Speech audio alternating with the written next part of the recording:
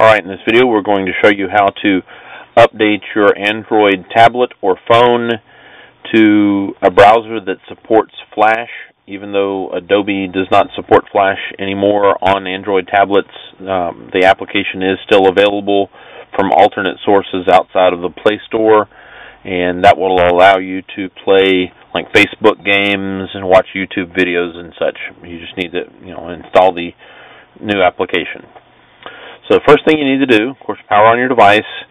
Um, you can open up your web browser, go to the link that's going to be below the video in the notes, and that will take you to our website with the full step-by-step description of how to do this that we're going to show you how to do on the video, but you can follow along on the website if you'd like. Um, first thing you need to do is find out which version of Android your device is working and running. Uh, so to do that, you'll go into your individual device's settings tab, go down to the very bottom of the list, and it's either going to say about tablet or about phone, and then right in this section, it's going to tell you which Android version. This particular tablet's a Samsung Galaxy tablet, and it's running Android version 3.1. We'll need that so that we can get the proper version of Flash uh, downloaded onto the tablet to make it operational. We're going to go back into the browser. Now that we've done the know which Android version, you scroll down a little bit further on the page, and it tells you how you need to go into security to enable downloading and installation of files from unknown sources. Basically, that means installing an application outside of the Google market. And so we'll go back into our settings.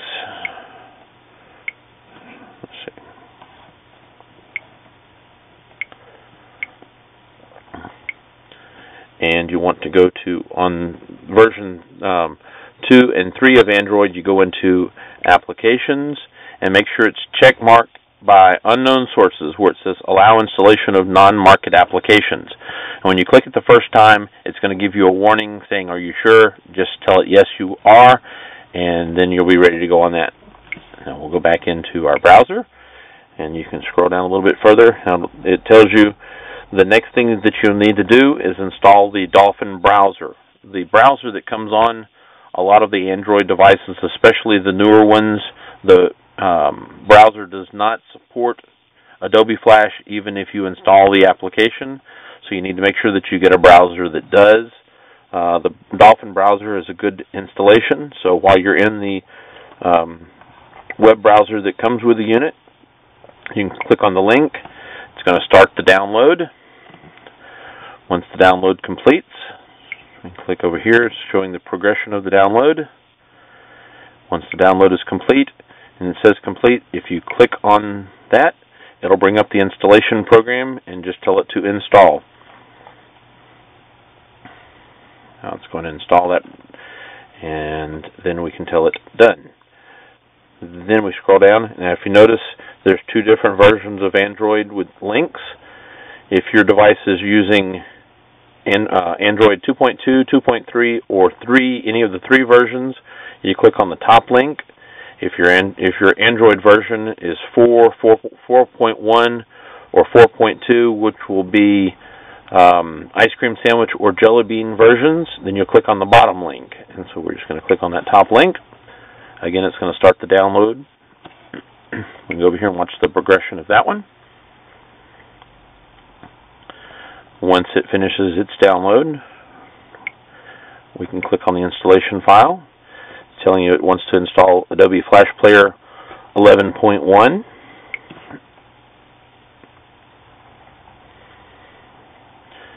And now we're done with that one. Now you can exit out of your stock browser, and when you go into applications, you'll see a new application that says Dolphin Browser. If you click on that,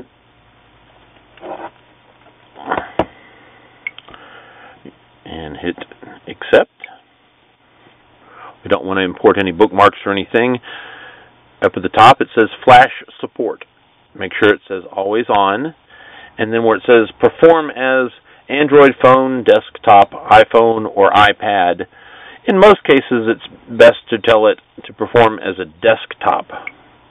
Um, that way you get the standard web page, not one that's designed for a mobile device Um, if you're using an Android phone, you can use it, you know, leave it on Android phone, but if you're using a larger tablet type device, click on the desk, desktop, you'll get a better web experience. Next, we click the next in the top corner, and then click finished at the bottom. And let's see.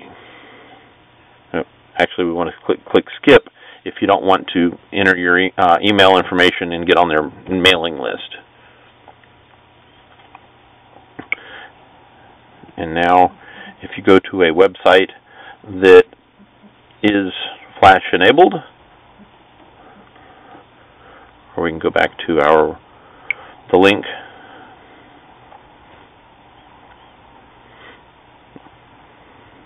click on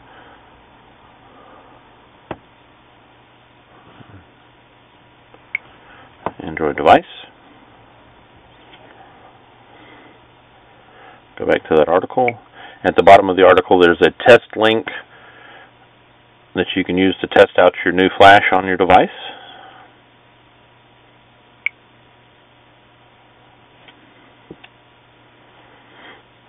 Just scroll down to the bottom of the page, and the last URL link within the topic is a test page. It should load it up, and we see the bouncing Flash logo showing the Flash is installed. And if you notice over here, it says you have installed Flash version 11.1.11.24. All ready to go. Now you can enjoy uh, YouTube videos, um, you can enjoy, you know, playing games on Facebook and such as that. Be sure to uh, check back or subscribe to our video channel for other interesting how-tos and informational videos.